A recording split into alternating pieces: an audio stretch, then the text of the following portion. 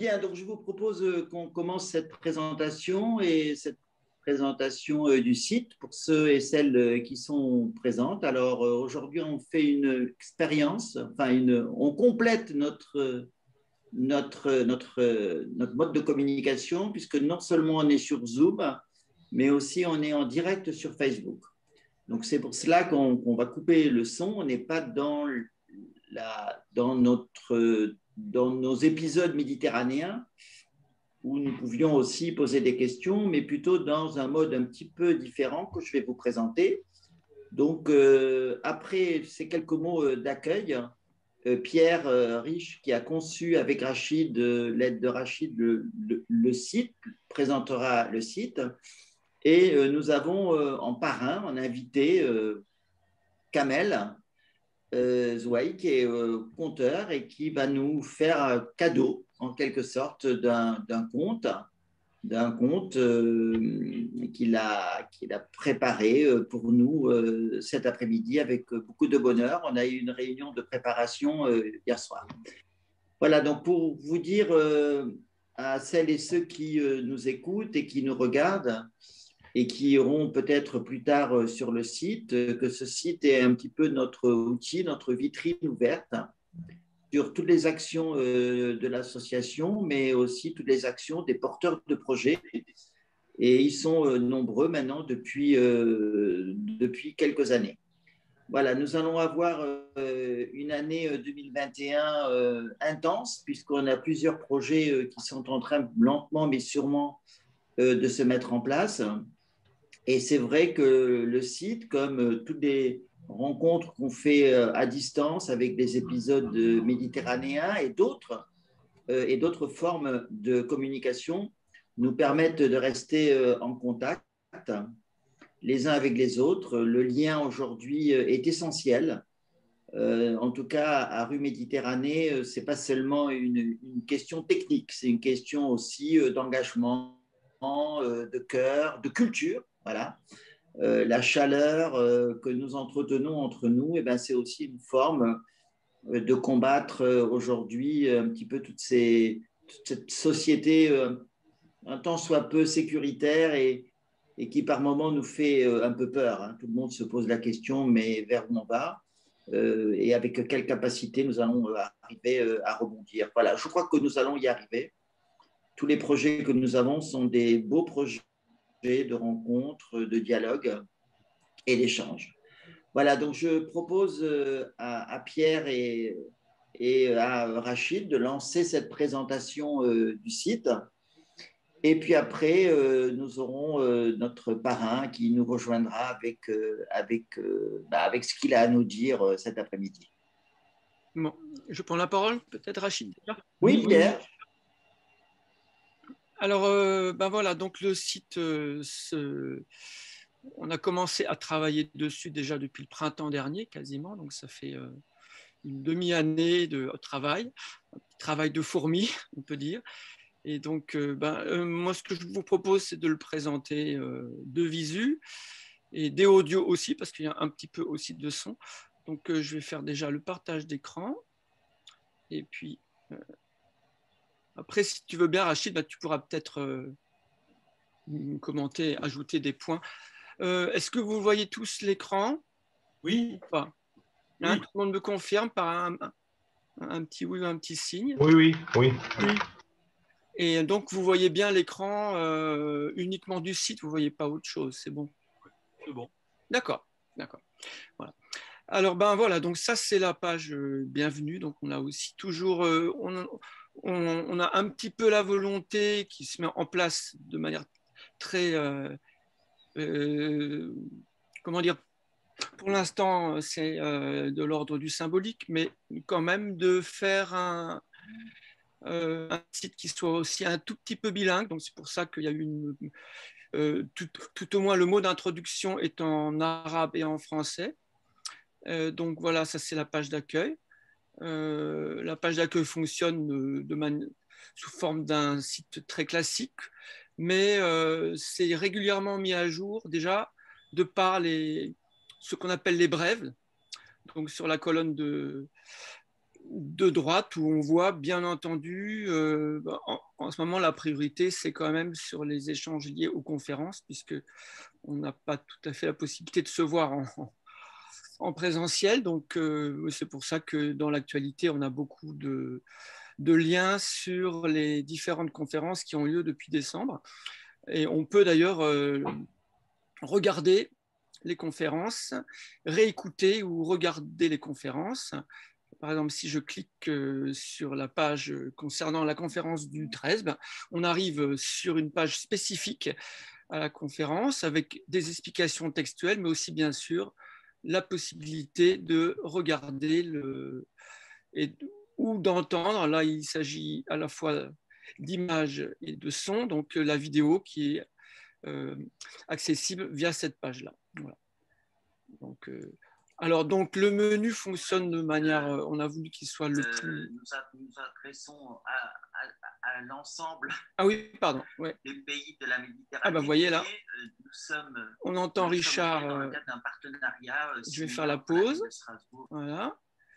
Donc, le menu fonctionne de manière très simple, c'est-à-dire on a déterminé le chapitre. L'esprit méditerranéen, ça présente à la fois l'association dans son présent, mais aussi dans son passé, puisque effectivement, Rue Méditerranée euh, s'assoit aussi et se place euh, euh, dans la dans la quantité de l'association de passage. Donc c'est pour ça qu'il y a pas mal d'événements historiques qui sont liés à la période passage.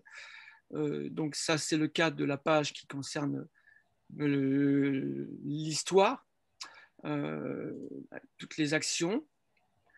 Euh, et puis, bien sûr, un focus particulier sur les actions phares plutôt liées à la rue Méditerranée, qui ont été euh, la résidence à Oran Mémoire en chantier, Moutana, et puis avec, bien sûr, puisqu'on a quand même un pôle architecture qui est très important, je souhaitais mettre en valeur aussi le travail de Jean-Louis sur les façades. Donc, on a, dans, ça, c'est la page spécifiquement historique. Et puis, il l'association euh, au, présent.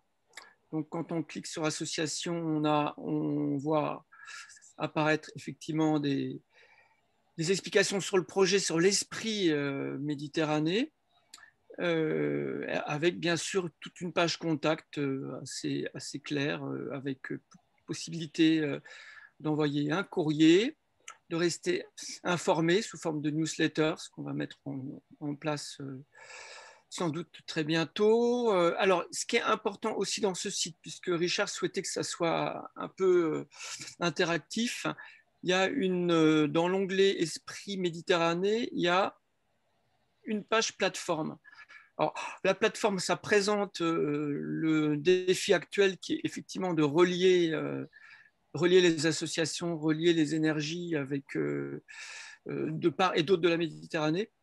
Et donc, en complément un peu de ce qui est Facebook, qui est quand même aussi euh, important pour l'association, j'ai réservé un petit onglet qui permet d'écrire, de contribuer. Donc, on, peut écrire autant de textes qu'il faut destinés à l'association. On peut aussi envoyer des pièces jointes, JPEG, PDF, texte, etc. Donc ça, c'est une page, euh, on souhaite qu'elle puisse euh, être, être la plus active possible de ce côté-ci ou de l'autre côté de la Méditerranée. Donc il y a aussi une page rejoindre, une page, un lien vers le fait euh, qui va, comment dire, qui va faire en sorte qu'on communiquera le mieux possible avec les membres de l'association. Et puis après, il y a tout l'onglet Action. Alors là, ce sont des pages assez actives parce que, notamment euh, en ce qui concerne euh, les épisodes et les conférences, euh, donc cette page, elle présente effectivement à la fois toute l'histoire depuis le 28 novembre, la première conférence d'Antoine, jusqu'à la dernière au 13 février, que je mets un petit peu en plus light dès lors que c'est fini. Et puis, on peut après accéder très facilement aux audios et aux, euh, conférences. Et puis après, bien sûr, on a les trois prochaines. Il y aura encore euh, un quatrième euh, événement en juin. autour de l'Espagne, d'après ce que, d'après ce que Antoine nous a dit. Donc voilà, cette page, elle est très active. Également, j'ai ouvert très récemment une page sur le cœur de la Méditerranée, euh, voilà, qui est effectivement euh, une opération qui va se mettre en, place à partir du mois d'avril. Et puis, bien sûr, des choses un peu plus anciennes dans les actions qui sont au rang mémoire en, chantier, qui sont en fait deux expositions, une sur Vox Populi, euh, les photographes d'El Warcha, et puis les trois, la résidence à Oran, d'avril 2019 de Jean-Louis, de Méchery et de moi-même. Et donc, on peut, euh, par exemple, euh, accéder très facilement aussi, parce que c'est un site qui se veut visuel, donc euh, aux images, par exemple celle de, Jean-Louis. Bon, ça prend un petit temps à charger, mais on, peut naviguer dans les ambiances des photos de rang, travail de Jean-Louis, notamment. Voilà et toutes les photos. Voilà. Donc, je vous amène bien sûr à, aller voir tout ça. Euh, on peut aussi voir les photos de, bien sûr, de Vox Populi sur le Irak. Voilà. Et puis une page après sur le, sur le travail de cinéma euh, de Jean-Marie Faver, à travers mémoire d'une rive à. Donc il y a un petit teaser qui est fait. On peut aussi aller acheter le DVD, commander le DVD sur la page. Je vais un petit peu plus vite après. On a une page euh, qui est plus réservée euh, à l'architecture, à l'urbanisme et euh, les liens intelligents qui ont eu lieu durant, depuis 2017 sur le, entre les deux écoles d'Oran et l'ENSAS de Strasbourg.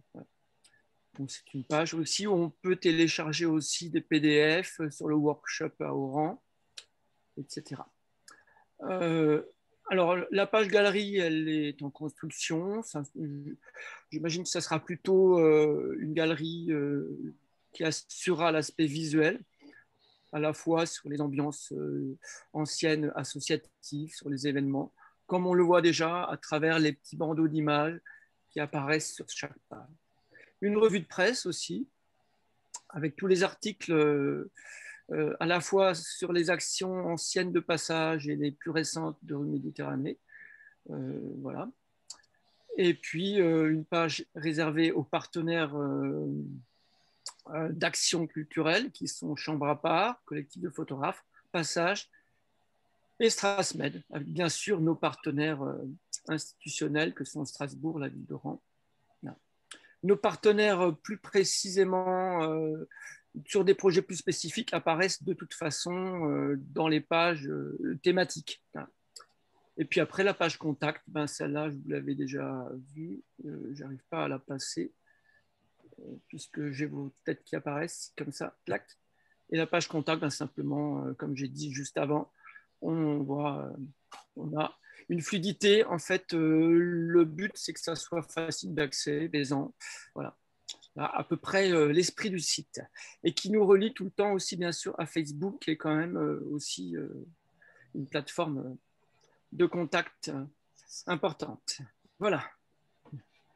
Je pense que j'ai tout dit. Rachid, tu veux compléter peut-être Je pense que tu as, fait, as fait le tour un peu du site. L'idée un peu, je voudrais juste rappeler l'idée du site au, plus qu'un lieu où les, et bien, vous trouvez des informations sur l'association. L'idée, c'est plus de, que ça soit euh, une plateforme où on peut échanger. C'est l'idée. L'idée n'étant pas de, te parler uniquement de rue Méditerranée, mais que ce soit un, canal aussi euh, pour, euh, pour les différents partenaires ou différents, différents structures qui se trouvent des deux côtés de la Méditerranée. C'est l'objectif un peu premier euh, du site. Voilà. Donc, euh, euh, Je voulais juste dire que le site est très bien fait, il est très complet et donne vraiment envie d'aller le, visiter. Hein. Bravo. Merci Magali. Merci, Magali. en tout cas, euh, comme l'a expliqué Pierre, euh, et c'était vraiment notre souhait, notre volonté, c'est un site, je dirais, c'est un site ressources, évidemment. Ce n'est pas un site institutionnel où, voilà, où l'association vient mettre en avant son discours et ses prétentions. Non, c'est un site vraiment où chaque action réalisée jusqu'à maintenant a trouvé sa place et où tous les projets trouveront aussi leur place. Il y a d'ailleurs le cœur de la Méditerranée, euh, euh, qui est un des projets de l'année 2021, euh, a déjà, a déjà sa place, si j'ai bien compris. voilà, donc c'est à chaque projet, on pourra suivre au fur et à mesure. Et ce que je voudrais aussi rajouter cet après-midi, c'est que notre, évidemment, notre volonté, c'est d'être en réseau. Donc, euh, sur la Méditerranée, donc, euh, par les épisodes méditerranéens, mais aussi par d'autres contacts, on va être, on est déjà en réseau avec, euh, avec d'autres associations ou d'autres collectifs comme le nôtre qui sont en Espagne, au Maroc, évidemment en Algérie, mais aussi on va avoir des contacts en Turquie à, Istanbul, euh, en Grèce, en Italie. Hein, euh, Jean-Louis a un très beau contact euh, d'une association en Italie, en Tunisie, je l'ai aussi dit. Voilà, donc notre, voilà, notre esprit méditerranéen, c'est n'est pas seulement de voyager, mais c'est de tisser des liens entre, entre la ville de Strasbourg et la Méditerranée. Et d'ailleurs, je peux déjà vous dire que cette semaine, enfin la semaine prochaine, euh, vendredi, pour la première fois, euh, l'association euh, Rue Méditerranée va participer à un groupe, un groupe de, citoyennes et de citoyens qui va porter des actions culturelles au sein du Conseil des résidents étrangers de la ville de Strasbourg. Voilà. Donc, nous allons maintenant rentrer dans un réseau avec d'autres associations sur Strasbourg pour développer cet esprit et que chaque, voilà, chaque communauté culturelle puisse s'y retrouver et puis, euh, venir présenter surtout euh, ce qui fait sa force, euh, ce qui fait la force de la diversité culturelle. Je voulais aussi préciser du coup que effectivement le site va continuer à vivre, va continuer à être actif. Il faut d'ailleurs qu'il ne soit pas figé, qu'il ne soit pas simplement actif au niveau des pages brèves de la page d'accueil, mais qu'effectivement de nouvelles pages s'ouvrent et, pourquoi pas aussi ouvrir des pages à nos partenaires. C'était aussi le, but aussi, par exemple, euh, avoir une page spécifique sur les projets en lien avec l'Espagne ou avec la Turquie ou avec, euh, avec Oran, bien entendu. Ou, voilà. Donc, il est ouvert, bien sûr, euh, à nos partenaires s'ils veulent profiter du site pour qu'il soit une vitrine aussi, une vitrine pour eux-mêmes. Mmh. Voilà, alors est-ce qu'on peut faire euh, une transition avec euh, Kamel? Est-ce que Kamel, euh, qui est dans les coulisses, est-ce que Kamel, qui est dans les coulisses, peut venir rejoindre notre espace virtuel Bien sûr. où on l'attend avec évidemment grande impatience et puis surtout une grande reconnaissance évidemment puisque c'est par toi, c'est par, euh, voilà, par tout ce que tu fais depuis plusieurs années qu'on a, voilà, quand tu nous as, ben, tu, tu, vas nous expliquer, mais en tout cas, on peut dire que sans toi, notre association ne s'appellerait pas Rue Méditerranée. bonjour, euh, bonjour Richard, bonjour à tous. En fait, euh, j'ai pris beaucoup de plaisir à écouter la présentation du site de la rue Méditerranée parce qu'il il décrit en même temps, Pierre et Rachid, quand ils décrivent votre site, ils décrivent aussi ce qu'est la Méditerranée, ce qu'est Oran, un carrefour, un lieu de rencontre, un lieu d'échange, un lieu dans lequel chacun peut, peut apporter un peu de soi et repartir avec autre chose, un peu comme l'auberge espagnole. Et j'ai beaucoup de plaisir à vous avoir rencontré il y a quelques années par, parce que votre énergie, cet amour des gens, des gens qui constituent le peuple de la Méditerranée. Cet amour pour l'ouverture, quelque chose qui, moi, m'émeut et me parle, d'aller vers l'autre, faire de la convergence, faire de la rencontre Et vous, depuis Strasbourg, vous rapprochez le sud du nord et le nord du sud. Et par les temps qui courent, je trouve que, c'est très, très important. Donc, je suis très heureux euh, d'avoir pu euh, vous croiser et je suis très heureux d'avoir d'avoir ressenti cette belle énergie que vous, que, vous, dispensez autour de vous. Donc, je suis regret de t'annoncer que je suis pour rien dans cette belle rencontre, parce que c'est vous qui en êtes les auteurs. Moi, je suis un raconteur d'histoire, je traverse, euh, je traverse les lieux, les endroits, et j'essaye de voir dans les lieux et les endroits ce qu'il y a de plus beau pour en nourrir mes histoires. Et puis parfois, ben, je prends aussi ce qu'il y a de moins beau euh, pour pas qu'on oublie. Et ce que vous faites là, c'est vraiment la valorisation des richesses de nos deux rives. Moi, je, suis né à Saint-Étienne, dans la Loire, et j'habite maintenant à Paris depuis, depuis plusieurs années. Et depuis mon enfance, en fait, je suis algérien, je suis binational.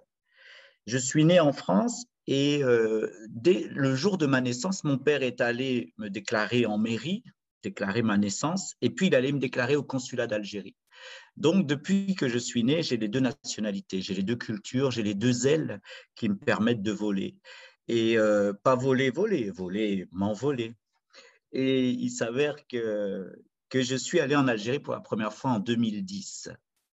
Depuis l'enfance et jusqu'à 2010, eh bien, pour moi, l'Algérie, c'était un rêve, c'était un imaginaire, c'était des regards, c'était des larmes, c'était des sourires, c'était de l'huile d'olive qu'on nous envoyait, c'était, un ailleurs, c'était un, un endroit loin. Et puis en 2010, je suis allé raconter des histoires en Algérie. Et en 2011, je suis allé à Oran. Et à Oran, j'ai été assez bouleversé par l'ouverture, Peut-être parce que l'histoire d'Oran fait qu'elle est ouverte sur le monde elle est aussi ouverte sur l'Afrique. Et je me suis aperçu plus tard que c'en est un peu la même chose pour toute l'Algérie, ouverte vers l'Europe et ouverte euh, vers l'Afrique. Et quand je suis allé à Oran, j'ai été bouleversé. J'ai rencontré Rachid, j'ai rencontré les amis de, de l'association Le Petit Lecteur. J'ai fait un festival de contes. J'ai participé à ce festival et je racontais des histoires à des enfants. Et en vérité, je peux vous le dire aujourd'hui, avec euh, dix années de recul, en fait, c'est à moi que je racontais les histoires. Quand j'étais à Oran, je racontais les histoires à des enfants, mais j'étais ces enfants. C'est-à-dire que j'essayais un peu de rattraper le temps perdu. Et depuis, j'ai eu la chance, avant le Covid, d'aller 17 fois en Algérie. Et j'essaye euh, d'y aller le plus souvent parce qu'une partie de moi euh, m'attend là-bas. D'ailleurs, Oran, vous savez, il y a une particularité dans cette ville. Je ne sais pas, Rachid, si tu, connais la particularité d'Oran, ou Magali, ou Virgile, ou Sofiane qui est là, en tout cas tous les amis qui êtes là. Il y a une particularité à Oran, ce ne sont pas les deux lions qu'il y a vers le théâtre régional, qui sont exactement les mêmes que ceux de Belfort et ceux de la mairie de Paris, rue Lobo. Si vous passez à Paris, vous verrez, que les lions sont les mêmes. En fait, il y a une particularité à Oran, c'est que sur le front de mer, eh bien, sur le front de mer, il y a des immeubles, des grands immeubles. Et ces immeubles ont exclusivement des numéros pairs. Le 2, le 4, le 6, le 8, le 100. Et, je me suis aperçu un jour, alors que je racontais des histoires à Toulon, dans le sud de la France, je me suis rendu compte qu'il y avait un bout du front de mer, et sur ce front de mer-là, qui donnait vers l'Algérie, qui donnait vers l'Afrique, eh ben, les immeubles et les maisons qui peuplaient cet endroit, eh ben, il y avait que des numéros impairs. Le 1, le 3, le 5, le 115. Je me suis dit alors que finalement la mer Méditerranée n'était pas qu'une mer qui sépare les gens, mais elle pouvait aussi se transformer en rue, la rue Méditerranée, qui pourrait permettre à ceux qui veulent ou à ceux qui peuvent de la traverser. Vous savez, au 12 boulevard du Front de Mer à Oran, au numéro 12, devant la corniche, dans un immeuble au septième étage, il y a un gamin qui habite et il s'appelle Yanis. Yanis, le jour de ses cinq ans, il y a son père qui lui dit Mon fils, mon fils, ça y est, j'ai reçu une invitation, ça y est, je vais partir en France, je vais construire des voitures dans une usine et nous partirons demain. Allez, il lui a dit Va dire au revoir à tes amis et demain nous partons, demain. Alors, Yanis, il allait dire au revoir à sa rue, il allait dire au revoir à ses amis. Et le lendemain matin, avec son père, ils ont pris un bateau qui les a amenés d'Oran jusqu'à Marseille, le Casanova. Quand ils sont arrivés à Marseille, ils ont pris un bus qui les a amenés en haut à gauche de la France, dans un petit village. Quand Yanis il est arrivé dans ce petit village, il n'a pas eu peur. Parce qu'il s'est aperçu que même si les gens n'étaient pas habillés comme lui, même si les accents des gens n'étaient pas les mêmes qu'à Oran, eh bien, il a compris très rapidement que dans les regards et les sourires des enfants de son âge, eh bien, il y avait la même chose qu'à Oran. Alors, comme on dit, Yanis, il était bien dans ses baskets. Il a grandi, il a traversé l'enfance, la préadolescence au milieu de la bienveillance de tous ses amis. Il était très respecté, il était très aimé, il était différent, il respectait pour cela. Il n'avait pas de soucis, sauf au collège. Au collège, il avait une prof, une prof de français, qui n'arrêtait pas de lui dire Écoutez, Yannis, s'il vous plaît, vous connaissez l'alphabet, allez, dites-le-moi, R, S, T, qu'est-ce qu'il y a après le T? Et lui, il la regardait, il disait Où, madame Où? Non, elle disait, ou c'est O plus U, mais vous le faites exprès ou quoi, Yanis Dites-le moi, R, S, T, ou madame, ou, ou, il lui disait de manière désespérée. Alors, à partir de ce jour-là, ses copains, ils ont dit, lui, lui, il n'est pas comme les autres, il assure.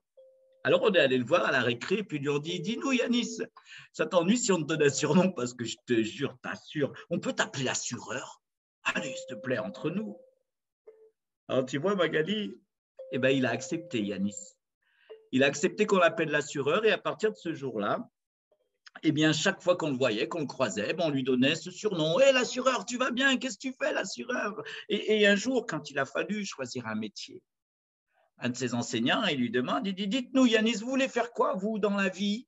Alors, il l'a regardé, il lui a dit, ben, écoutez, j'ai déjà le surnom, autant en faire un métier, je veux être euh, assureur. Et Virgile, ça a marché. Yanis, il est devenu assureur. Il est devenu le meilleur assureur de son village. C'était le seul. Euh, sur son échoppe, il était inscrit chez Yanis assure tout.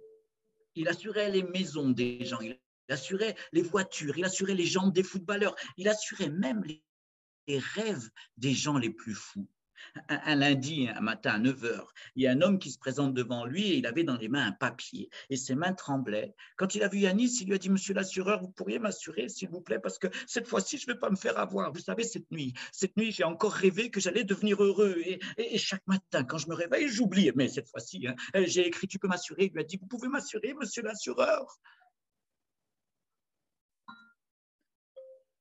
Yanis, il les aimait bien, les gens comme ça. Alors il lui a dit D'accord entre. Il lui a offert un café, il a allumé son ordinateur et puis il lui a fait un contrat pour qu'il n'oublie pas d'être heureux. Et attention, il lui a dit, je t'assure ton rêve, mais à une condition. Je vais ajouter une clause. Je vais t'assurer pour un euro symbolique, mais je vais ajouter cette clause. Dois tout mettre en place pour devenir heureux. Et attention, il lui a dit, attention, si tu ne respectes pas cette clause, eh bien, tu reviendras et tu me payeras le double de ce que tu me payes aujourd'hui. l'homme, l'homme, il est parti, il a pris son contrat, il a payé son euro et l'histoire, elle raconte qu'il n'est jamais revenu. Soit parce qu'il était devenu heureux, soit parce qu'il était radin, mais ça, on l'a jamais su. Tout allait bien dans la vie d'Yanis. Tout se passait bien. Sa traversée de l'existence se passait bien jusqu'au jour de son anniversaire. C'était le jour de ses 23 ans. Ce jour-là, il avait décidé d'organiser une petite fête et d'inviter quelques-uns de ses clients et quelques-uns de ses amis. Et au milieu du jour, juste au moment où le soleil est dans le ciel là-haut en son zénith, Yanis, il sort de chez lui, il traverse la petite placette de son village et là, il sent l'odeur du couscous il sent une odeur de couscous qui vient sous ses narines et qui s'en va, qui passe et puis qui s'en va. Il a dit c'est pas grave, il a compris, il a compris. Aujourd'hui c'est mon anniversaire, c'est le temps qui passe. Peut-être que je n'ai pas le moral. Il a dit c'est pas grave, demain est un autre jour. Et vous savez, le lendemain, à la même heure, quand il a traversé sa place et que le, soleil était là-haut en son zénith dans le ciel, eh ben, c'est la même chose qui s'est produit. Couscous. Et ça a duré des jours, et ça a duré des semaines, et ça a duré des années. Dès qu'il avait le soleil là-haut dans le ciel, couscous sous les narines. Il a tenté de s'habituer, mais ça ne marchait pas. Alors, pour ses 33 ans, vous savez, 33 ans, c'est un âge important dans la vie de quelqu'un. Pour ses 33 ans, il a pris une grande décision. Il allait voir un de ses clients, le médecin du corps. Il allait le voir et il lui dit Excuse-moi, docteur, est-ce que tu pourrais m'ausculter, s'il te plaît? Voilà, je t'explique. J'ai une malformation quelque part ici. Je ne sais pas, depuis de nombreuses années, déjà, j'en ai parlé à personne, j'en parle qu'à toi. Depuis de nombreuses années, j'ai l'odeur du couscous qui me gêne, qui est là tous les jours. Je ne sais pas d'où elle vient. Il lui a dit Tu peux m'aider Tu peux m'aider? Alors, le docteur du corps, il lui a dit D'accord. Et pendant six mois, il lui a fait tous les tests possibles et imaginables. Il a analysé les cheveux, les machins, les bidules et les trucs. Et au bout de six mois, il l'a convoqué. Il lui a dit Yanis, aujourd'hui, ce n'est pas le médecin qui te parle, aujourd'hui, c'est l'ami. Tu sais, j'ai parlé à quelques-uns de mes collègues et nous n'arrivons pas à poser un diagnostic sur ce qui te préoccupe. Voilà, la science ne peut pas tout réaliser non plus. Il faut que je te le dise, mais tu ne le dis pas aux autres. Hein. Voilà, nous, le corps médical, pensons que ton problème de couscous n'est pas un problème médical. Tu n'es pas malade.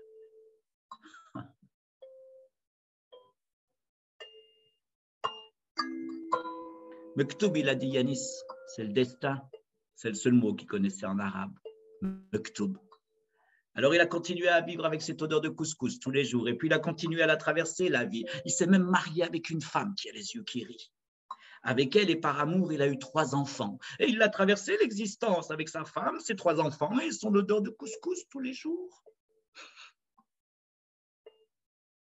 Jusqu'au jour de ses 40 ans. Vous savez, mes amis, c'est un âge important, 40 ans dans la vie de quelqu'un. Chaque âge, en vérité, Rachid est un âge important. Ce jour-là, il a pris une grande décision. Il allait voir un autre de ses clients, le médecin de la tête. Il allait le voir et lui a dit Excuse-moi, docteur, là, je crois que je suis devenu fou, il faut que tu m'aides. J'en ai parlé à personne, j'en parle pas à ma femme, j'en ai parlé autrefois, mais au médecin du corps, mais s'il te plaît, là, je crois qu'il y a quelque chose qui se passe en moi, ça va pas du tout. Est-ce que, est-ce que tu peux m'aider? Il a dit Je sens l'odeur du couscous tous les jours je crois que je suis devenu fou, il y a quelque chose qui ne marche plus dans ma tête. Il lui a dit, tu peux m'aider, s'il te plaît, tu peux m'aider. Bien sûr, bien sûr, il lui a dit le docteur de la tête. Bien sûr que je peux t'aider, Yanis. Allez, assieds-toi et parle. Et là, mes amis, pendant trois ans, Yanis, il a parlé. Tous les mercredis, de 15h à 16h, 55 euros la séance. Et il a parlé, il a parlé, Virginie, il a parlé, il a dit toutes les choses qu'il avait dans son cœur. Il a parlé, parlé, parlé. Et au jour où il a arrêté de parler, quand il avait tout dit, le médecin de la tête, il lui dit, tu sais, Yanis, il n'est plus nécessaire que tu viennes me rencontrer pour ton problème de couscous. Il y a des choses à régler en toi, soit, mais je suis au regret de t'informer que je ne peux pas t'aider je ne peux pas t'aider à t'aider. Il semblerait, mon ami, ces choses étranges, il semblerait que ton problème de couscous ne soit pas un problème psychologique. Tu n'es pas malade. Non, tu n'es pas malade, il lui a dit.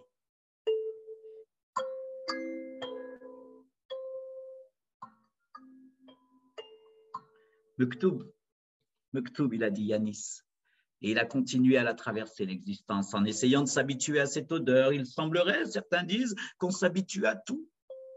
Et le temps, il a passé. Enfin, ce n'est pas le temps qui passe, c'est nous qui passons, mes amis. Et quelques années plus tard, c'était un samedi au mois d'octobre, entre chien et loup, quand le jour s'en va et que la nuit arrive.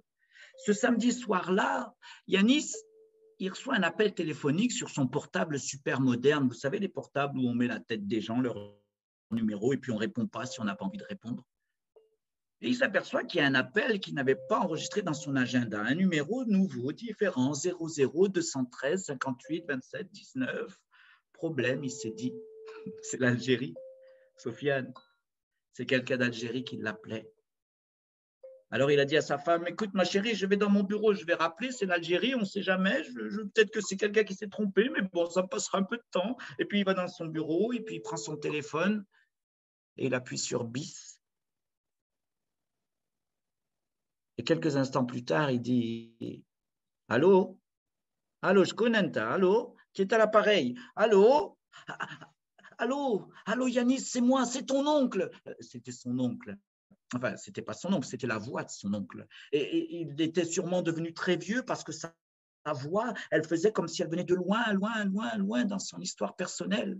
Après quelques mots de politesse, Yanis lui a demandé l'objet de son appel, la raison. Et Yanis, je suis désolé de te déranger dans ta vie là-bas en France, mais il faut que tu rentres plus vite à Wahran. Il s'est passé quelque chose. Allô, Yanis, tu m'entends? C'est ta mère. Allô, Yanis, ta mère, hier, elle est devenue tellement vieille que quand elle allait se coucher. Allô, Yanis, ta mère ce matin, ta mère ce matin, elle ne s'est pas réveillée. Aya, Aya, viens, il lui a dit, viens, on t'attend. Yanis, il a laissé quelques larmes perler sur son visage. Et après, il a pris son courage à deux mains.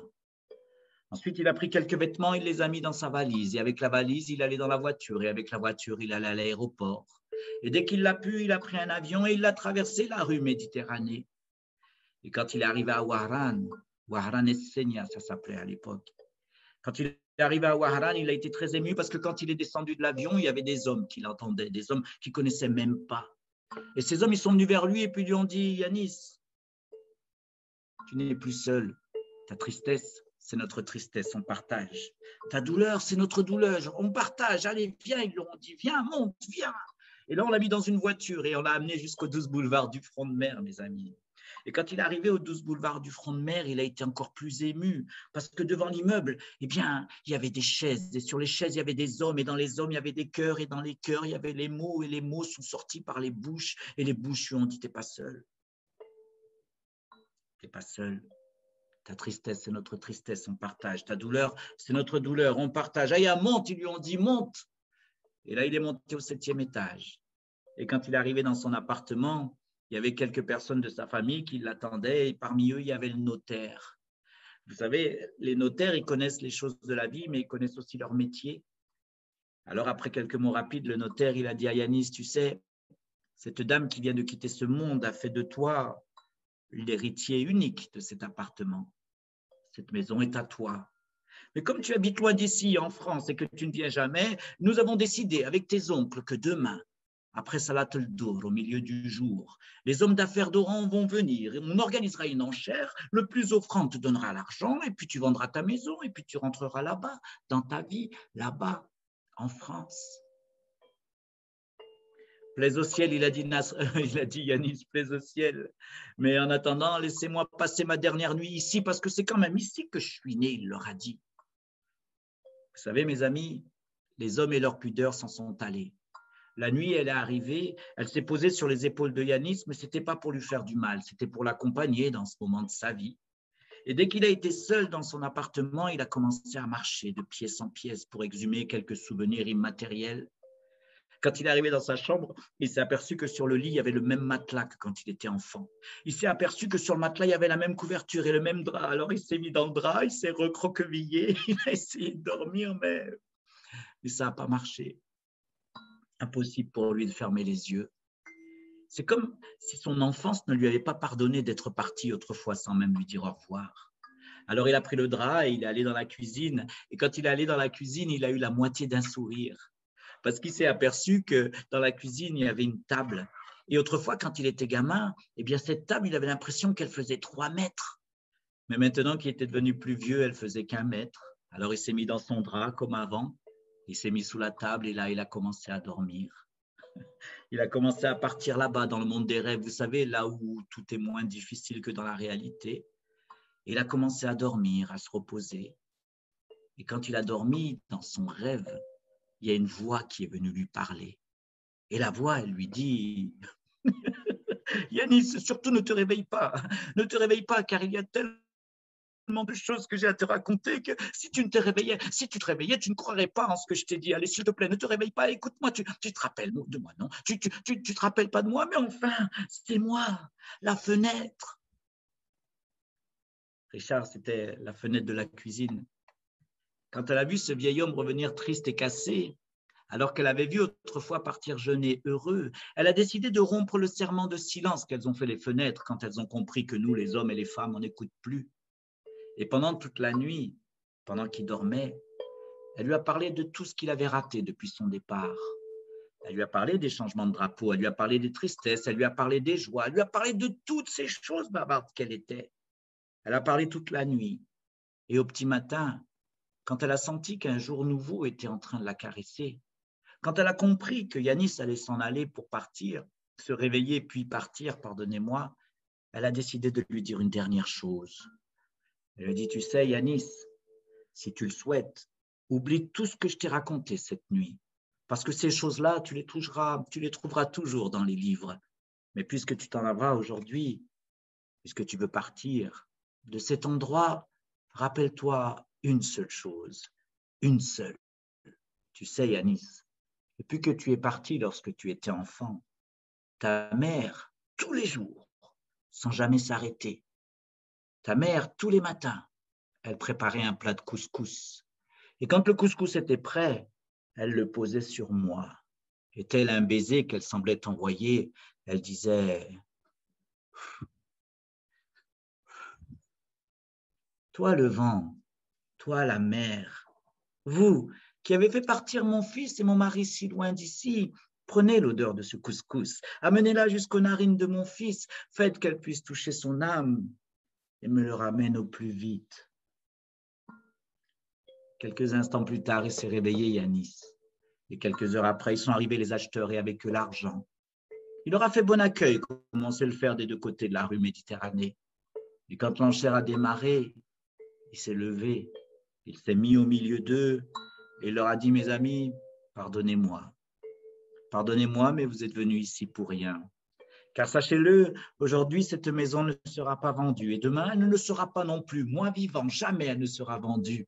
Car j'ai appris cette nuit dans un rêve qu'il y a des choses dans la vie qui n'ont pas de prix et ces choses-là, par nature, ne peuvent pas être vendues. Merci mes amis.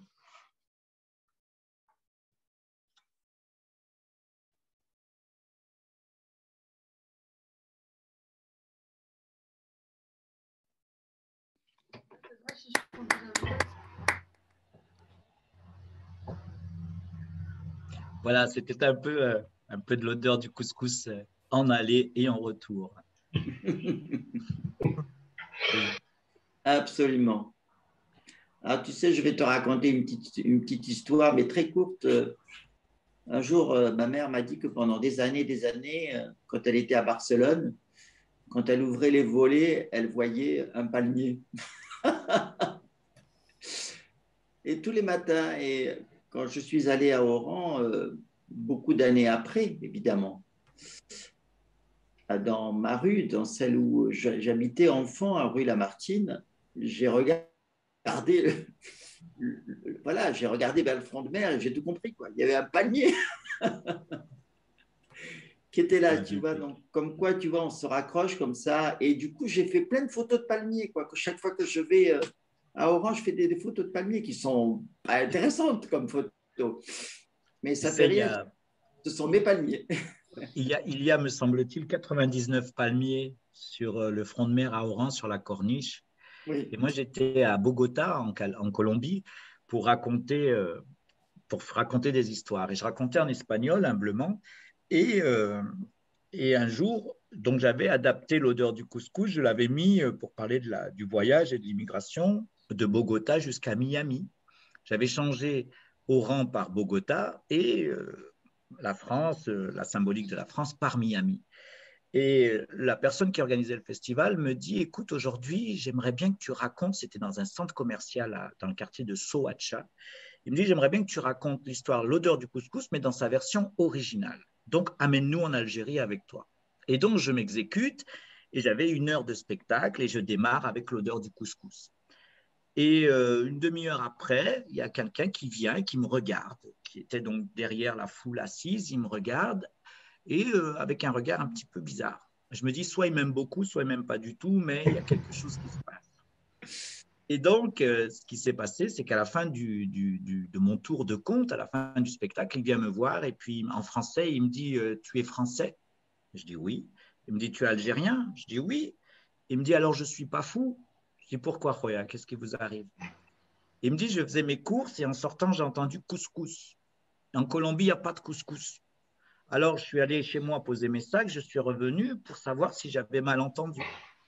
Et euh, je lui raconte que, que j'étais là pour, pour raconter des histoires. Et je lui dis Tu es d'où, toi, Roya?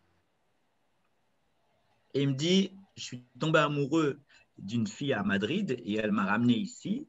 Elle est colombienne et moi, je suis algérien et j'habite à Oran. Et je lui dit, t'habites où à Oran? Il m'a dit, j'habite sur la corniche à Oran. On s'est assis, je lui ai raconté l'histoire dans le creux de l'oreille, pas très loin du cœur. Et après, on s'est pris dans nos bras pendant dix minutes. Et puis, il a repris sa route et moi, j'ai repris la mienne. Donc, c'était son palmier à lui. voilà, on a comme ça tous des histoires euh, qui nous appartiennent et qui, voilà, qui nous font vivre. Absolument, absolument. J'ai été très, très heureux de la partager avec vous. Oui. Est-ce qu'il y avait des, réactions peut-être euh, ou des personnes qui voulaient s'exprimer euh, Est-ce qu'elles ont accès, euh, Rachid Oui, oui, les, tous les micros sont ouverts, tout le monde peut réagir. Bon, ce que je peux Bon, moi, l'odeur du couscous, de toute façon, je l'ai en ce moment. Je ne sais pas pourquoi, mais je l'ai dans mes narines. Spécialement. Eh oui, Sofiane. Sofiane, ça fait quelques mois qu'il n'a pas pu revenir voir ses, enfants et sa femme à Oran. C'est une de hmm. ces personnes qui, des deux côtés de la Méditerranée, est bloquée par la pandémie. Quelques années, mon ami, quelques années maintenant. Et ça dure, ça dure, et voilà. Et, c'est, euh, et on se maintient comme ça euh, en vie entre nous. Quoi. Voilà. Donc on peut, Notre, notre couscous, c'est voilà, c'est notre force de vivre ensemble. Quoi. Tout à fait. L'exil, l'exil, c'est aussi apprendre à être avec les autres sans les autres. Oui. C'est un, prix, un prix très dur à payer, mais euh, à l'intérieur de soi, ça, ça, offre une très grande richesse de porter l'autre, porter l'autre dans son cœur. Tout à fait. Mhm. Ce matin, j'ai écouté une chanson euh, à la radio de Mélina euh, Mercouri mm. quand elle était en exil en exil, une chanson qu'elle chante en français, en, exil politique euh, de la Grèce. Et c'était impressionnant comme chant. Enfin, je veux dire, euh, voilà, je vais vous le faire écouter un de mais ça m'a. J'étais en voiture parce que j'allais euh, à mon groupe, à mon groupe de parole pour les aidants, pour ceux qui, voilà, aident des personnes chez elles. Et j'écoutais cette chanson et évidemment, j'ai pensé à tout l'exil, pas seulement à moi, évidemment, j'ai pensé à tous les exilés et puis à tous ceux qui sont mais il y en a, il y, en a plus maintenant d'exilés que de personnes. C'est vrai, c'est vrai. que, de, personnes sédentaires, on va les appeler comme ça, quoi. Et, et pourtant, euh, ce, voilà, ce sont les exilés qui portent en fait cet espoir du monde, de fraternité. Enfin, c'est comme ça que moi je le vis de plus en plus. Et je, voilà, c'est pour ça que je me bats aussi. Voilà, c'est les raisons pour lesquelles je me bats. Il y a une autre forme d'exil, c'est l'exil en soi on laisse euh, sur un, côté du chemin, en tout cas on pense laisser sur un bord du chemin un, endroit de notre vie, notre enfance, et puis on le retrouve à un autre endroit. On est en exil dans la traversée de l'existence aussi.